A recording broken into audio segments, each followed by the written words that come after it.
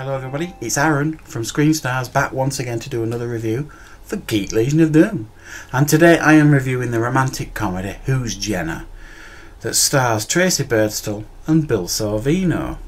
And like I say, it's a romantic comedy set in Jersey in the US and focuses on Bill Sorvino's character Jonathan and his best friend Andy who have grown up together, lived together, uh, Jonathan's a financial advisor, and he meets and falls in love pretty quickly with Tracey Birdsall's character, who is called Jenna. And his best friend Andy is convinced that she's this famous porn actress because his best friend Andy um, is obsessed with porn and he's got this box of porn and um, he thinks it's some kind of art form porno movies, and he's convinced that she's this actress, but he can't. He, he struggles to prove it, basically. Um, but also, what you've got going on here, like I say, is a financial advisor, and he is promised a promotion at work by his boss, who is actually the brother-in-law of Jenna as well. So you've got that dynamic going on.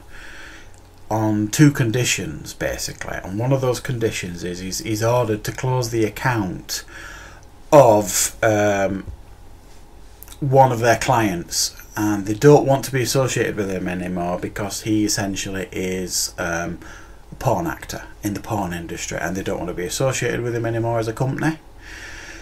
Um, but also, um, one of his colleagues who he's been trying to get promoted because he thinks he deserves it, uh, Jonathan's character Bill Sorvino, they don't want to promote him essentially because he's black, number one, and he's gay. So they're really, really prehistoric in their thoughts, this company. And Jonathan, Bill Sorvino's character, is really dead against it, and he, he can't understand why. Um, so he's in a real sticky position because he doesn't want to close the account of the porn actor because at the end of the day, uh, he doesn't see why this account should be closed. He's just an actor doing a job, sort of thing, the way he sees it. And he's he's in a bad position because his colleague who he thinks deserves a promotion is not he knows isn't going to go anywhere because the company you know sees him in a negative light because of the colour of his skin and his sexuality. Um, so and uh, to add further um, confusion to it his girlfriend Jenna is a, is a lawyer um, and he wants her to represent him in the case that he think he might be able to put forward uh, in regards to being blackmailed and then being discriminating against this guy. So there's all this stuff going on really.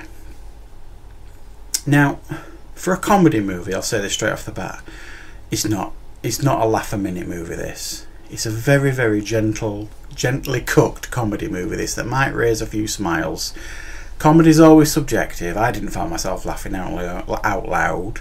However, you might, but generally speaking, I think the most you can expect with this movie is a, is a few light chuckles here and there. Um, however, that's not to say it doesn't have some charm, because there is some charm with this movie. There's some good chemistry between the leads. I think Bill Sorvino and Tracey Birdsall have some great chemistry. Um, I think it's it did concern me at one point in this movie because it was going very heavily down the route of racism and homophobia. Um, and even sexism as uh, it was sexist as well because they were talking about women in the porn industry and how they're represented and um, all these things were going off and I was, I was starting to think what are we doing here what's this movie doing I was getting really worried but actually um, the main character Jonathan his main his main fight in the movie is to fight stand up certainly for the rights in regards to racism and homophobia. So the message it's ultimately trying to give is a good one.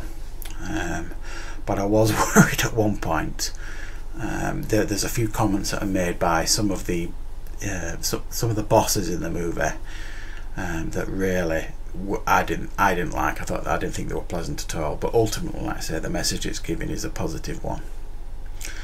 Um, it, it's a bit of a jumbled mess, and it doesn't have an awful lot of structure. This movie, and by that I mean uh, the first ten minutes of the movie, you you meet these two characters, Jonathan and Andy. Um, essentially, when their moms are about to give birth to them, it's set. It starts in the seventies Um, and there's this whole 10 minutes where the mothers are effing and blinding at the husbands, they're being taken to hospital, they're born, they see the born on the same day, on the same night.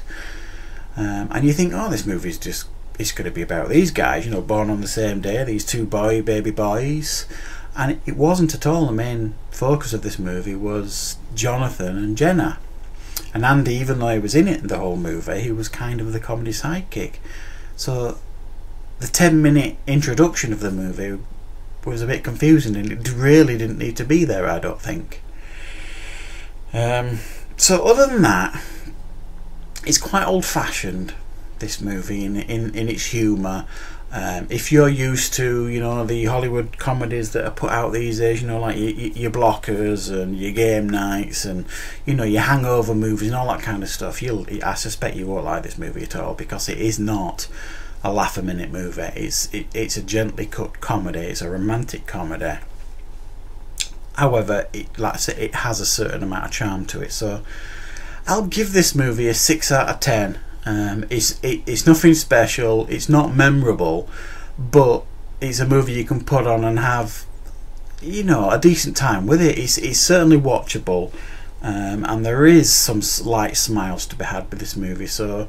Um, if this is your sort of comedy, if you like gentle comedies, um, then this might be it for you, really. But if you like these, you know, um, over the top, um, full on comedies, then you, you will likely dislike this movie. So it is down to your taste in comedies, guys, because it's always subjective when it comes to a comedy.